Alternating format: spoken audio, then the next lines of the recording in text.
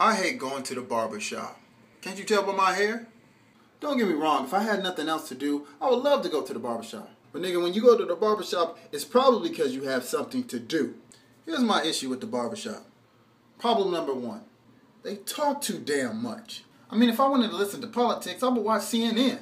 Hell, or any other channel that has a bunch of white people on and arguing about something that we can't control. Or Dateline.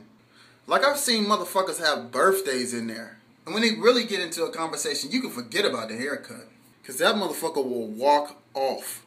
I seen one motherfucker go in there with a buzzer. And every time the barber got too far into his conversation, he would beep that motherfucker. Number two, I feel like you can't go into a barbershop if you don't know your ESPN stats. Like it's a bunch of sports analysts in that mug, and ain't nobody got a job in sports. One dude knew more about LeBron than I think LeBron did. He knew that nigga's mama's social security number.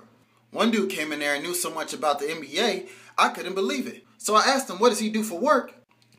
This motherfucker said he worked at Payless. I said, it sounds like you're paying more attention to the NBA than your pocket, brother. That nigga, you need to be paying less attention to the NBA and more attention to your career choices. And honestly, I'm not a fan of watching other men bounce around in loose and tight clothing. It's not for me.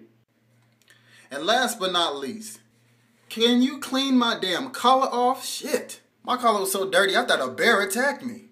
It looked like I got a neck massage from Chewbacca with his forearms. I'm just glad they stopped giving out them hairy ass suckers to them kids after they get their hair cut. I went to one barber shop and they was playing video games and I couldn't get my hair cut until after the nigga beat him by 30 points. I sat in there for an hour and 35 minutes. That's why I said, forget it, I'm just gonna grow out the Nelson Mandela. And don't get me wrong, I like the diversity in the barbershops, especially when it comes to conversations. Like I came in there for a ball fade and this nigga gave me relationship advice. Broke up with that bitch. So thank you, barbershop. Now I know why Ice Cube didn't make a part three. Thanks for watching. Subscribe, comment, like. If you don't like, like somewhere else. Peace. Haven't had enough? Why don't you check out some of these videos? Also go to openthots.com.